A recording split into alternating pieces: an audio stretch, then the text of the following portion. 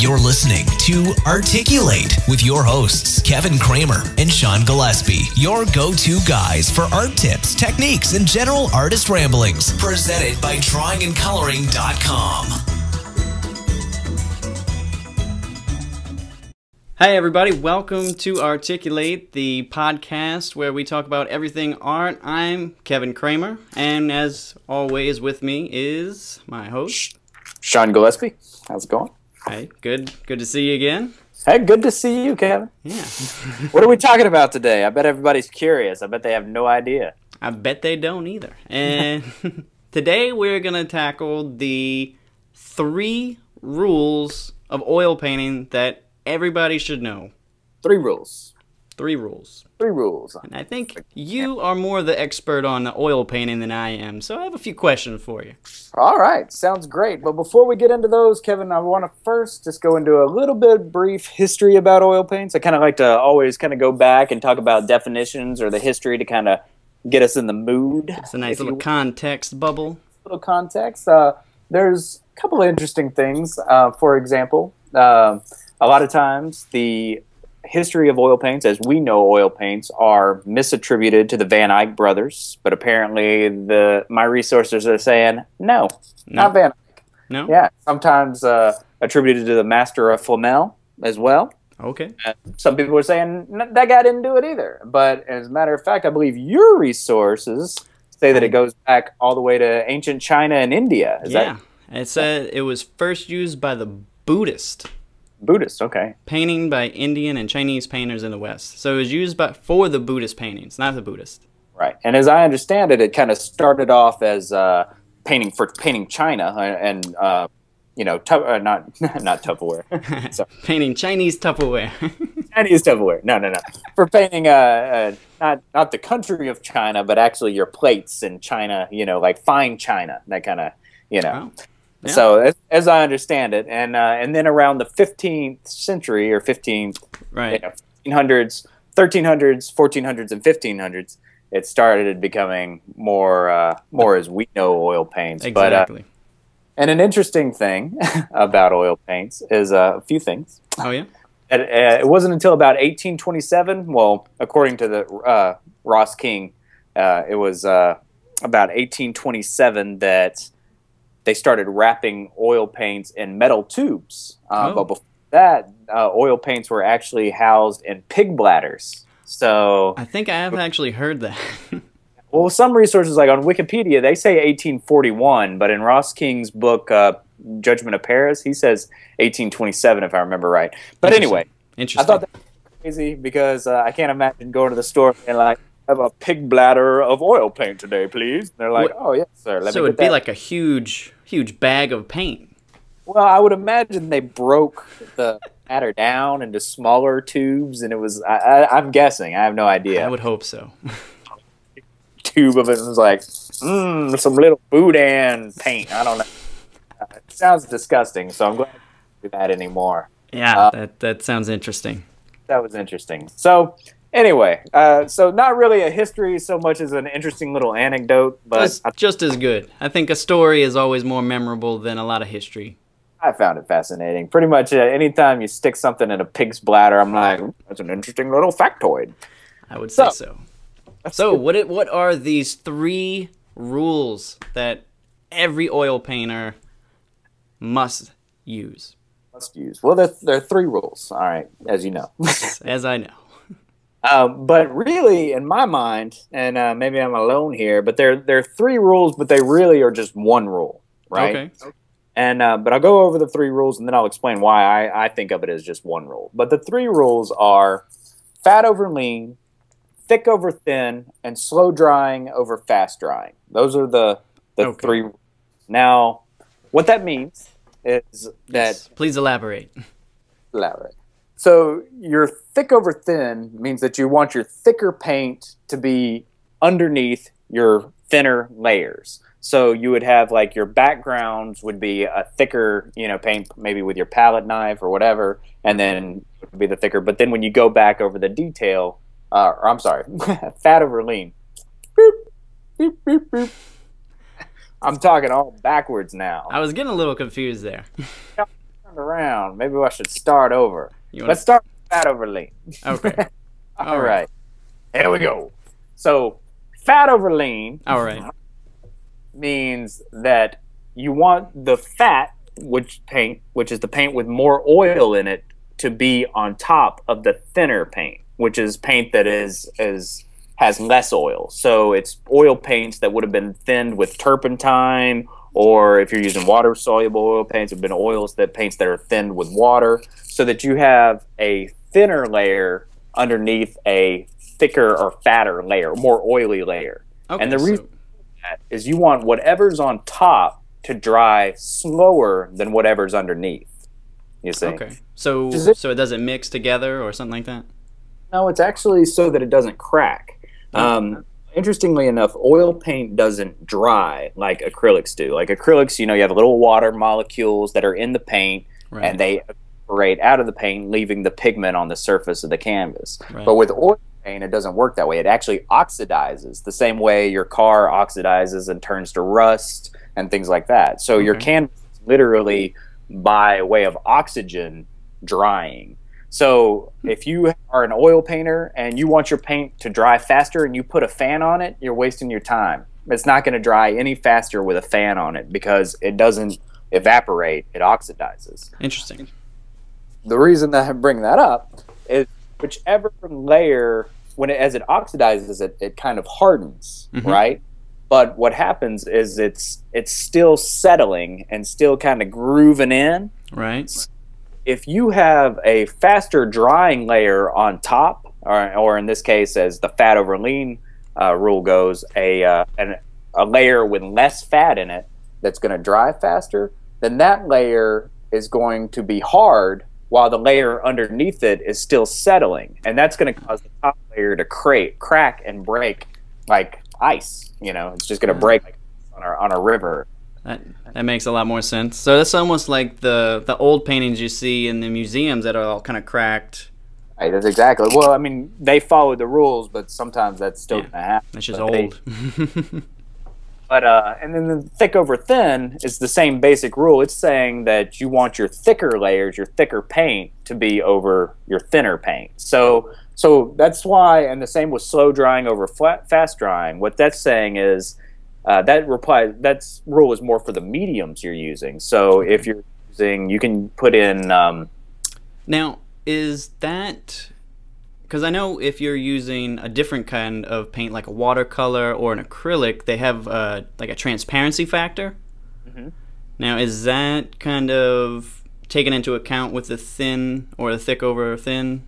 You can add different mediums to give it more transparency and things like that. Um, but your you know different oils mostly like you have Right. linseed oil for example is going to make your paint dry slower, but it does give it a little bit more transparency and things like that. Um, so you you've got these different oils and things that you can mix with your oil paint to give it different um, things. And there are also faster drying mediums that Mhm. you can. So you wouldn't want to use like in this rule, slow drying over fast drying. You wouldn't want to use a faster drying medium on top of a slower drying medium. Okay, okay, that makes do it the other way. You'd want this faster drying underneath. right. So you can build it up. Right. Build it up. So that that's basically it. It gets it's confusing when you try to talk about it. Yeah. So basically, what you want to do is have something dry so you can build it up on. Well, yeah, and that's why in my mind these three rules are really one rule. And the Right. one is whatever is on top needs to dry slower. That's it. That's the rule. Whatever's underneath needs to dry faster. that's a good. Okay, I think that's a good simplification of it. Faster underneath.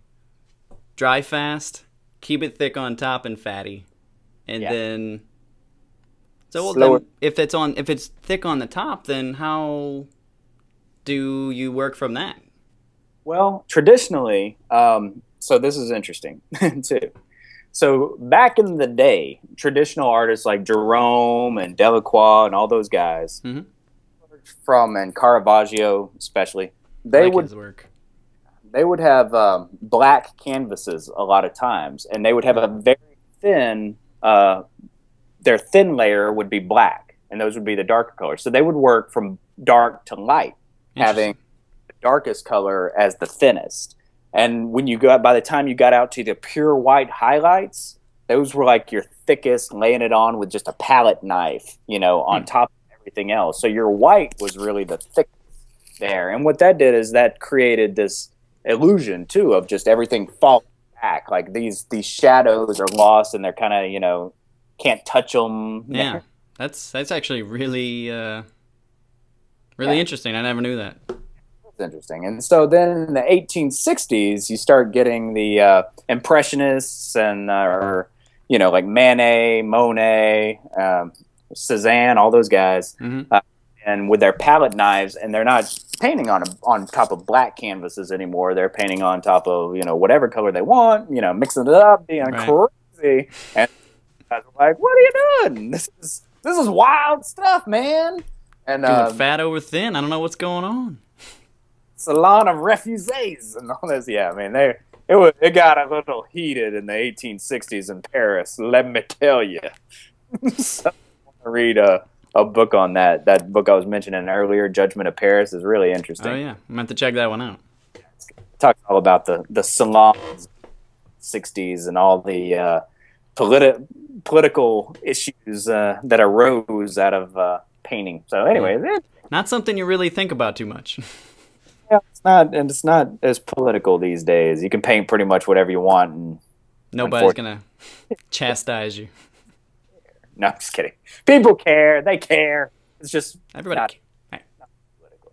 But so that that's the those are the basic rules: fat over lean, thick over thin, slow drying over fast drying. But really, like I say, all one rule: Just the one. whatever is underneath needs to dry slower than whatever is on top. That's Okay. now you can use any other brush you want. You can use rounds, flats, filberts. You can use fan brushes. I don't think you should. No? I don't like fan brushes. Eh, they're okay. You and I differ on this, but I'm not. uh, I'm not a fan of the fan. I'm not I'm not a huge fan, but you know, it has its place. I, I saw an artist here uh, in town a while back who um, he would use fan brush. He would dip it in oil and make the bristles separate, and he would drag it down his painting, and it was really cool looking. It created a very cool effect, and that's pretty much the only time I've been like, I like the fan brush. Yeah. But other than that, you can usually really tell uh, the fan brush. But so Hmm. those brushes and and you know palette knives. You know nowadays, after the 1860s, the Impressionists they really opened the door. You can do whatever you want, Anything. anything to a canvas, except you have to make sure that you follow those three rules. That's the only thing. Because if you don't do that, your paint's gonna crack and it's just gonna be ruined. So And nobody can enjoy it for years to come. nobody, nobody's gonna enjoy a cracked up canvas. No.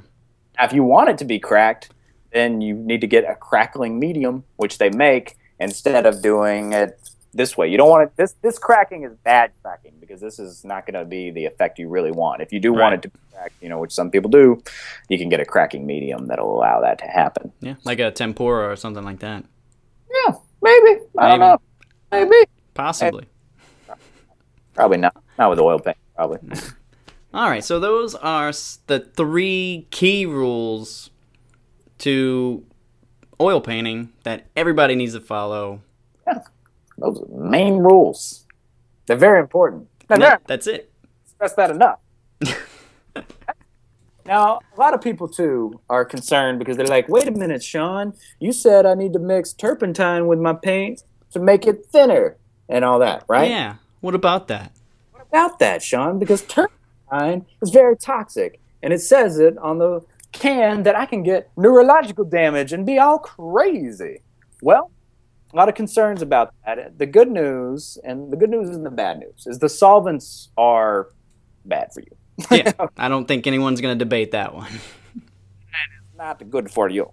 No. Uh, but the paints themselves now are are more or less not too bad. Now they the they are required if they have they do still have heavy metals. No paints have arsenic or lead in them anymore that I know of. Um, Yeah, and I think that would be outlawed at this point. It's pretty much out.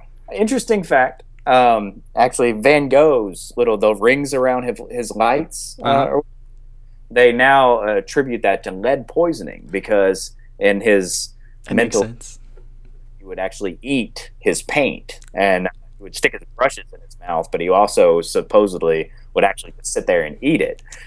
Um, and that gave him lead poisoning, and of course, you know, caused the rings around his eyes, but also, you know, helped.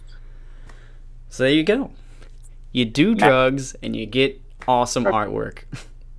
Kids, don't do drugs. Well, yeah.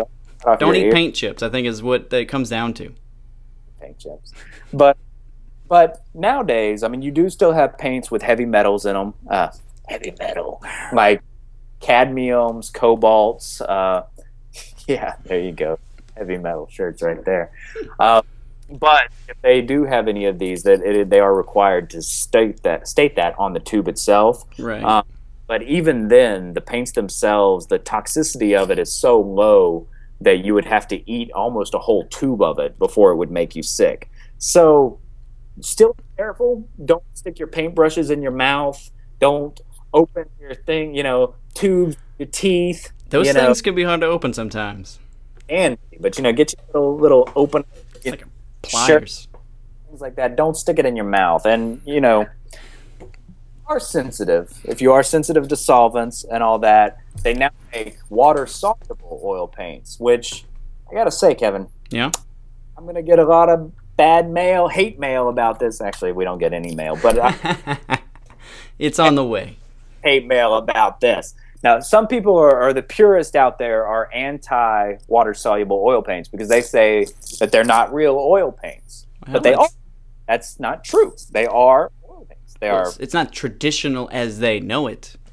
it's not traditional as they know it. But uh, Winsor and Newton, while they are being a little hush hush about their little process, uh, basically what they say is that they have tweaked the process of making oil paints to where now the water molecules just connect to the oil paints. So they've changed it. So they're Weird. they're still oil but just at a at the a particular part of the process they tweaked Hmm. to where now they they're water soluble. So if you use those instead of using turpentine, you just use water to thin it and for your thinner layers. And then as you get thicker, obviously you would use less water until you get to pure out of the tube.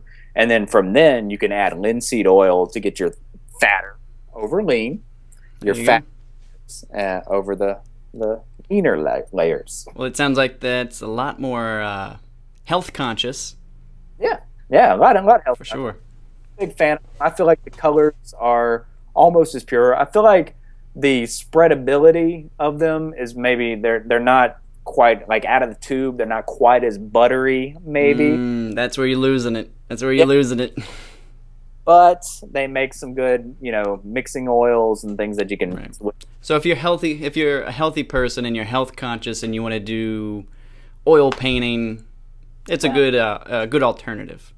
Well, some of their paints still have cadmium and cobalt in them, so it's not necessarily a health conscious thing. But if you are sensitive to solvents, like I am, I'm I'm a little sensitive, kind of guy. I don't know if you know, but if you're sensitive to co- to solvents, we need to edit that out. it's going up. There's no taking that off. I, you've done it. You can't undo it, Shawn. Damn it. Take back. But if you are sensitive to solvents, then water soluble oil paints are an option for you. All right. Good. Good deal. So I think we uh I think What have we we learned? what have we learned? Tell, tell me what you learned today, Kevin. I actually yeah, I did learn a good bit because you are the authority on oil painting in this room. So I uh I bow to your excellence. All right, thanks. Well, I had a little trouble explaining the rules there. It's, it's hard to explain when you you know your brain gets all twisted around. But I, but just remember, kids, fat over lean, And that's all you really need to know. thick over thin. Thick over thin. And if you can't get that one, dry fast over not dry fast. Under dry. Dry Just- fast. Under. Why is that so hard to explain? it's hard to say. It is. Say, I don't think people out there. Okay, slower drying on top of faster drying. There you go. Fast drying underneath, slow drying. As the All right. All right. I think that, that helps simplify it. I think we've made people way more confused than when we started. Probably so, but I think uh, I think that general idea has been captured. That if you want to layer anything, the bottom layer has to dry first. yeah, there you go. That's the way to say it. Nice. Woo! And the toxicity in creating those can be a factor that you want to take into account, but they do have some alternatives that are water based. They do. They do have now water-based oil paints that have the same brightness and beauty. Beauty. Uh, because I feel like I feel like maybe this is me, but I feel like acrylics are just a little more dull than oil paints. And in fact, the polymers that they use in acrylics, they say, can be as toxic as oil paints. So that's Well. food. Yeah, something else to take into account. Well, I think we sufficiently butchered those three rules. Good. We're gonna put those rules on the webpage. Can we do that? Yes, we will put the the rules in writing below this video or the audio, wherever you're, uh, whatever you're watching or listening to this, so we can get a clear idea of what we are trying to, to say here. And uh, if you're watching on YouTube, go ahead, hit that subscribe button to your right, and uh, keep up to date with these because we will get more concise. Yeah, yeah, definitely. And also, I wanted to recommend a good book that uh, I was showing you earlier before the podcast. It is Everything You Ever Wanted to Know About Art Materials. It is a super helpful book. I I don't know where I found it, but you can find it on our website under the recommended readings. It's uh, Amazon links, and it has everything from the advantages, the disadvantages, to pretty much any material or tool that you can purchase for art. Yeah, and it's a hell of a book. be, be borrowing or buying that one. That's for sure. Yeah, I'll definitely send it over. Well, thanks for tuning in, guys. Yeah, thanks, and I'll uh, we'll see you next week with uh, hopefully another interview. So stay tuned. Bye. You've been listening to Articulate with Kevin and Shawn. Subscribe on iTunes or check them out on drawingandcoloring.com. Always reminding you to keep it simple.